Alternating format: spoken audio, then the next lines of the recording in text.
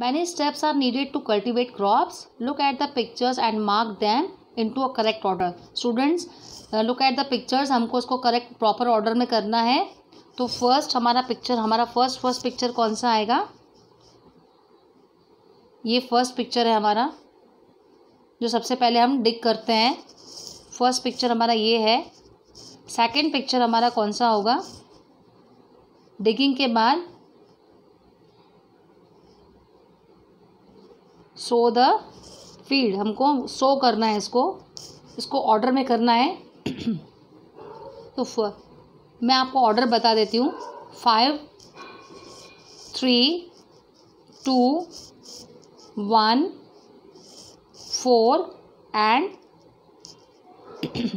one four six I repeat again five three two one, four and six last one is six जो ये onions को pack किया जाता है सैक्स में और मार्केट में ले ले जाया जाता है।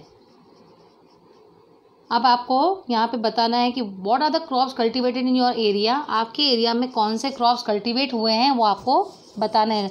जस्ट एग्ज़ाम्पल है वीट मेज राइस और वेजिटेबल्स और onion crops whatever you see in the farm और field discuss about the steps of a crop that is grown in your area. Write details in your notebook.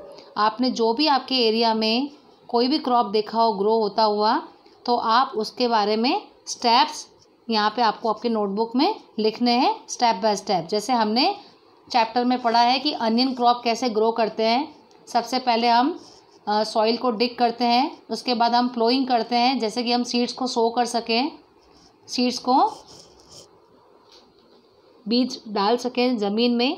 उसके बाद proper irrigation करेंगे proper watering करते हैं field में farm में, ताकि अच्छे से हमारी क्रॉप्स को पानी अच्छे से मिल सके। इसलिए प्रॉपर इरिगेशन होता है। उसके बाद after some time after twenty और twenty five days saplings will be grown with weeds और उसके बाद क्या होता है? हार्वेस्टिंग होती है कटिंग होता है, जिससे वीड्स को क्रॉप से अलग किया जाता है। फाइनली हमारा जो क्रॉप है, वो जर्मिन हो जाता है और वो मार्केट में ले जाने के लिए रेडी हो जाता है।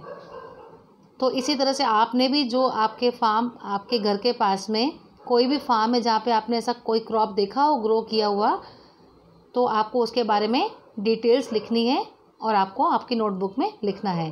So this we complete your this chapter